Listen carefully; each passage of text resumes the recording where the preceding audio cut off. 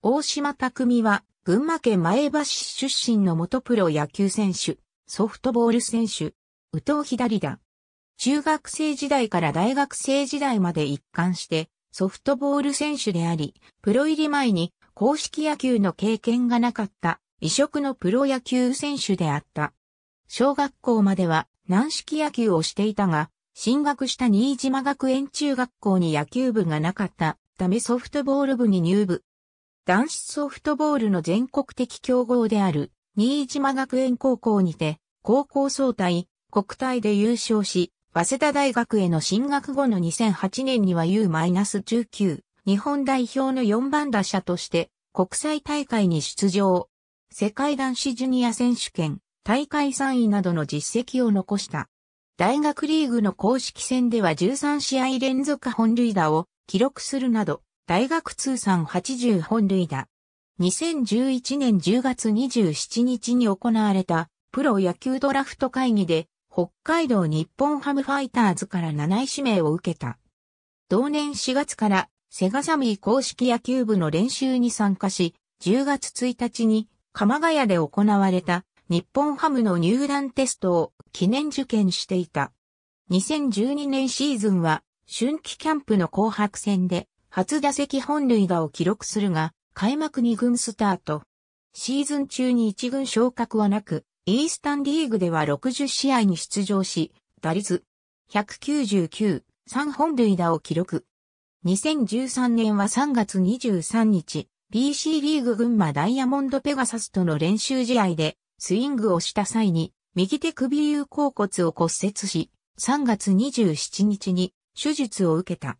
この年も一軍昇格はなく、イースタンリーグで47試合に出場、打率202、日本塁打の成績。10月7日から開催されたフェニックスリーグに参加。斎藤祐樹から中島さんと大島ではキャッチャーとしての経験が違うと厳しい言葉を受けた。11月19日、現状維持の500万円で契約公開した。2014年は10月4日に3年目にして初めて一軍昇格、10月5日の東北楽天ゴールデンイーグルス戦で8回虫から代打出場、プロ初打席は松井裕樹と対戦し三振。この年の一軍での打席はこの1打席のみ。2015年は1月27日に発表されたメンバー振り分けで一軍に選抜され、プロ4年目で初のキャンプ一軍スタートとなった。しかし、シーズン中に一軍での試合出場はなく、2軍のイースタンリーグでは60試合に出場、打率224、4本塁打、19打点。2016年はプロ5年目にして初の開幕1軍入り、5月31日、東京ヤクルトスワローズ戦で9回裏に大野翔太の代打として出場し、石山康史からプロ初安打となる宇宙間への二塁打。2017年は1軍昇格せず、イースタンリーグで43試合に出場し打率273、3本塁打、23打点。2018年10月5日に、球団から戦力外通告され当日に、現役引退を表明する。現役引退後、2019年3月13日放送の日本テレビ中井正宏の4番勝負に出演。元同僚の杉谷健志らと共に、チーム中井の一員として、ソフトボール女子日本代表とのソフトボール対決に参加した。大島にとって実に7年ぶりのソフトボールであった。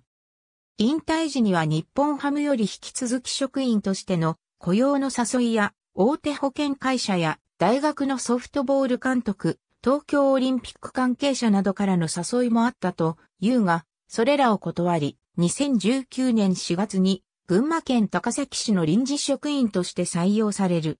12月上旬、高崎市の職員採用試験に合格。2020年4月から正規職員となる。また、臨時職員時代から高崎市役所ソフトボール部に所属し、ソフトボール選手に復帰している。復帰後は学生時代とは違い、一塁手としてプレーしている。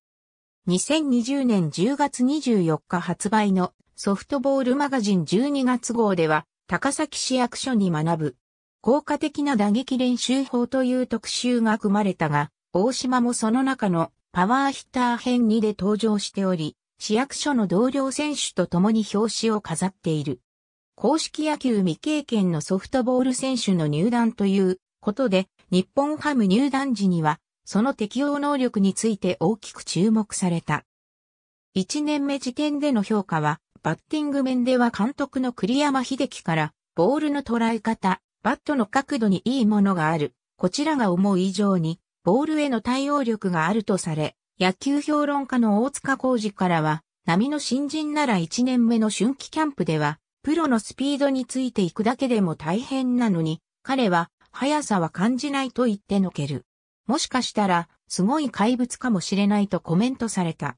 直球への対応力が評価される一方、変化球へ対応ができるかどうかは意見が分かれていた。また、守備面の評価は散々で、キャンプで投球練習を務めた時から、キャッチングのまずさを露呈し、ブルペン保守すら務まらないアマチュア以下だと言われていた。趣味は人間観察とフォームチェック。憧れの選手に、新庄剛志、対戦したい投手に、早稲田大学で一学年上の福井優也の名前を挙げている。ソフトボール球界では、役所の競合チームが多かったことから、高校時代から漠然と役所で働きたいという憧れを持っていた。4学年下の弟が高崎市役所に勤務していることが公務員試験を受験するきっかけの一つになったという。ありがとうございます。